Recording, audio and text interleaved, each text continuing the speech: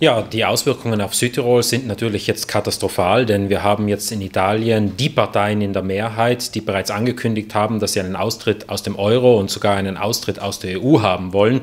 Man muss sehen, ob das dann auch umgesetzt wird, aber ich glaube, jeder Südtiroler kann sich ausmalen, was das für eine chaotische und instabile Politik in den nächsten Wochen und Monaten für Südtirol mit sich bringen wird.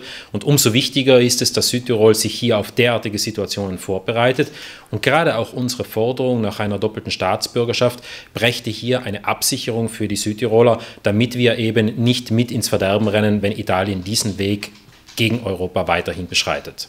Nun liegt das Wahlergebnis äh, der Parlamentswahlen in Italien vor. Wir haben gesehen, mit knapp 70 Prozent ist es äh, weit niedriger als im Jahr 2013, wo es noch rund 82 Prozent Wahlbeteiligung ausmachte.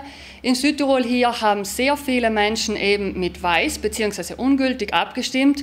Natürlich war das Ganze auch vorauszusehen, weil es eine, ein chaotischer Abstimmungsmodus war.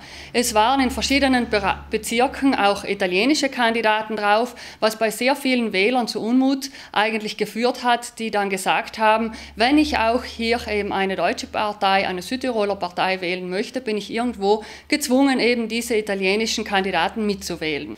Ja, mich persönlich hat das Ergebnis der, der Parlamentswahl nicht überrascht. Also das Chaos, das politische Chaos in Italien wird, äh, war vor der Wahl so und wird es auch danach äh, weiterhin sein.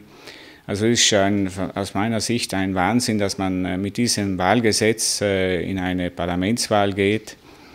Äh, also aus meiner Sicht bräuchte es dringend eine Wahlrechtsreform und politische Reformen im Allgemeinen in Italien.